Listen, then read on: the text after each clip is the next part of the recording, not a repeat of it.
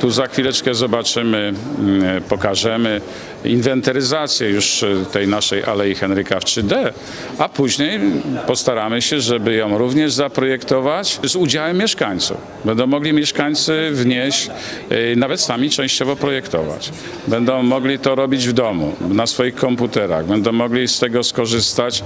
Także sam jestem ciekawy, dajemy e, pewne tworzywo.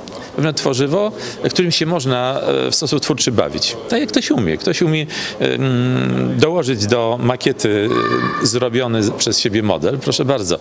Ktoś inny będzie mógł przejąć ten model w formie cyfrowej i zaproponować coś więcej, prawda? Może, może e, zaangażują się młodzi, młodzi studenci, czy architektury, czy innych wydziałów, może zaangażują się mm, klasy e, e, związane z informatyką. E, Sądzę, że to jest właśnie taki moment, gdzie, gdzie poprzez zabawę czasami wypracowuje się znakomite rzeczy. Chodzi nam przede wszystkim o burzę mózgów, aktywność, nawet kwestię swobodnego wypowiedzenia się, że coś się podoba, coś nie.